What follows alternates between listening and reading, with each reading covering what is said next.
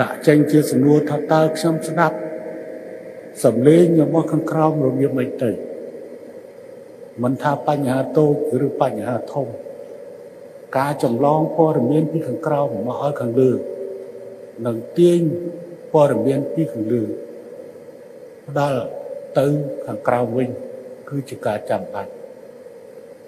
គ្រាន់តែរឿងតូចមួយទេ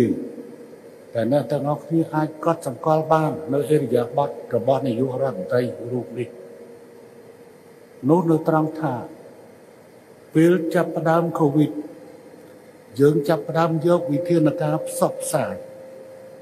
ជាមួយនឹងព័ត៌មានទាំងឡាយសម្រាប់ប្រជាពលរដ្ឋរបស់យើងការពារខ្លួនប៉ុន្តែនៅពេលនោះខាងមូលដ្ឋានបានប្រើប្រាស់រថយន្ត បានប្រើប្រាស់ម៉ូតូចល័តក្នុងការផ្សព្វផ្សាយប៉ុន្តែស្រាប់តែមិនឡើងលេចឡើងនៅក្នុងគេហៅថាដូចជា TikTok គឺនិយាយអំពីយុវជនម្នាក់ប្រហែលជាគាត់នៅចាំដែលជិះម៉ូតូតាមស្ដាប់សារអំពាវនាវ ខ្ញុំបានឃើញសារអំពាវនាវនេះឃើញតាមរយៈ TikTok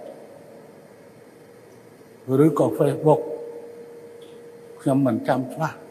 តែវាមានរឿងនេះពិតប្រាកដនៅត្រង់ថាដោយសារតែរថយន្តរបស់យើងនេះគឺចាក់សារផ្សាយតាក់ទិនជាមួយនឹងការការពារកូវីដក៏ប៉ុន្តែចេះតែបើកទៅអញ្ចឹងអ្នកដែលស្ដាប់ស្ដាប់អត់តន់ជាប់គាត់ចេះតែបើកអញ្ចឹងទីចុងបំផុតក៏បើកធ្វើជាคลิปកំសាន្តមួយ តាមរបៀបថាបើកម៉ូតូតាមស្ដាប់មើលស្ដាប់គឺយ៉ាងម៉េចអញ្ចឹងចំណុចនេះយើងក៏បានធ្វើការស្រាវជ្រាវភ្លាមវាពិតជាមានរឿងកើតឡើងមែនយ៉ាងដូចនេះនៅត្រង់ថាពេលនោះគឺមន្ត្រីមូលដ្ឋានរបស់យើងបានប្រើនៅអកុសលស័ព្ទហើយដាក់តាមរថយន្តហើយចេះតែបើកតាមផ្លូវអញ្ចឹងទៅ ដល់បើកតាមផ្លូវអញ្ចឹងទៅអ្នកស្ដាប់ស្ដាប់អត់តន់ជាប់អាឡាននៅទៅផុតទៅអញ្ចឹងទីចុងបំផុតត្រូវបានคลายទៅជារបៀបនៃការដោះស្រាយបញ្ហារបស់យុវជនម្នាក់ហ្នឹងគឺជិះរថជិះម៉ូតូតាមស្ដាប់មើលស្ដាប់ឲ្យវាជាប់យ៉ាងចឹងយើងបានកែតម្រូវភ្លាមដើម្បីឲ្យមូលដ្ឋានកែតម្រូវថាបើទៅដល់កន្លែងហ្នឹង2ម៉ោងចាក់ឲ្យ2ម៉ោងកន្លែងហ្នឹងទៅ ហើយបន្តទៅចាក់នៅកន្លែងផ្សេងខំលេងទៅលេងមកលេងទៅលេងមកចំណុចនេះសូម្បីតែបញ្ហាតូចតាចក៏យើងបានចូលបានខិតខំដើម្បីទទួលយកព័ត៌មានហើយក្នុងសពថ្ងៃនេះគឺសាខ្ញុំក៏សូមអរគុណចំពោះមនាសារព័ត៌មានទាំងឡាយដែលបានចូលរួមប្រយុទ្ធប្រឆាំងនឹងអង្គើអសកម្មនានា ខ្ញុំសពថ្ងៃនេះវាបានបង្កើតនៅការងាយស្រួលដល់ខ្ញុំដែលខ្ញុំសូមសម្ដែងនៅការសាទរដែលស្មោះចំពោះអ្នកជួយក្នុងនោះរឿងវត្ថុនឹងទូរទស្សន៍វាជារឿងមួយហើយក៏ប៉ុន្តែបណ្ដាញអនឡាញក៏បានជួយច្រើនណាស់ដែរខ្ញុំ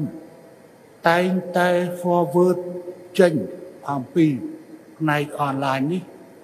បញ្ជូនទៅខេត្តណាដែលមានបញ្ហាហ្នឹងនៅទីនោះឲ្យពិនិត្យតែម្ដងប្រហែលជារដ្ឋមន្ត្រីមួយចំនួនអភិបាលខេត្តមួយចំនួនធ្លាប់បានទទួលរួចហើយនៅការ forward របស់ខ្ញុំបច្ចេកគឺច្រើនតែចេញពីអនឡាញតាមរយៈប្រព័ន្ធ Telegram ដែលគេនោះគឺជួនកាលខ្ញុំមិនធ្លាប់ ទទួលទានតំណែងមុនម៉ោង1យប់ទេដូច្នេះចវាយខេត្តឬប្រធានស្ថាប័នខ្លះទទួលនៅការ forward របស់ខ្ញុំនៅព័ត៌មាននោះនៅក្រោយម៉ោង12យប់ឬក្រោយម៉ោង12យប់11យប់តែពួកគេសម្រានចុះតែភ្ញាក់ឡើងបានឃើញហើយនៅអ្វីដែលខ្ញុំបានបញ្ជូនទៅព័ត៌មានខ្លះ គឺបានផ្ដល់ឲ្យយើងស្រាវជ្រាវបានភ្លាមភ្លាមសម្រាប់ដោះស្រាយបញ្ហាដែលមាននៅឯមូលដ្ឋានប្រជាជនត្រូវការនៅបរិនៅយុតិធធឬក៏ត្រូវការនៅដំណោះស្រាយនានាដែលយើងមិនបានដោះស្រាយជូនពួកគាត់ឬក៏ភាពខ្វះចន្លោះ សូម្បីតែក្នុងប្រមាណថ្ងៃនេះនៅភ្នំរមៀលនៅខេត្តតកែវនោះមិនមែនសារព័ត៌មានទេតែប្រជាពលរដ្ឋបានជូនព័ត៌មានទីជុំបំផុតយើងក៏បានរកឃើញថាមានការពាក់ព័ន្ធទន្ទ្រានជាមួយនឹងដីភ្នំ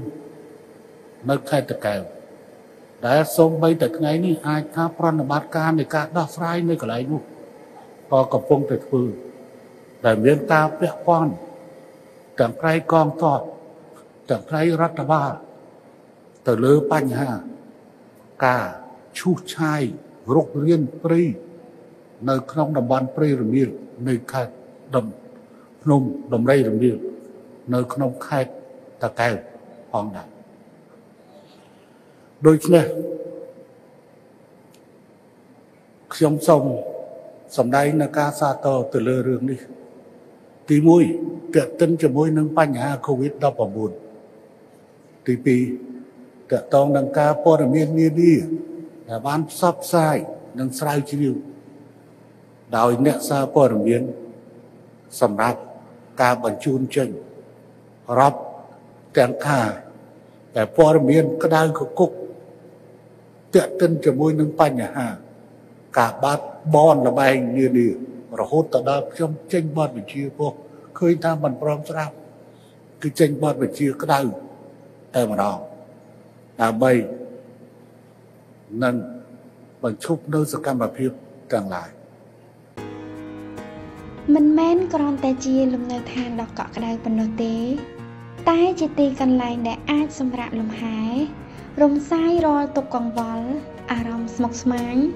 បន្ទាប់ពីការនឿយហត់ពេញមួយថ្ងៃ គឺជាទីឋានពោពេញដោយសេចក្តីសុខសុភមង្គលជានិរន្តរ៍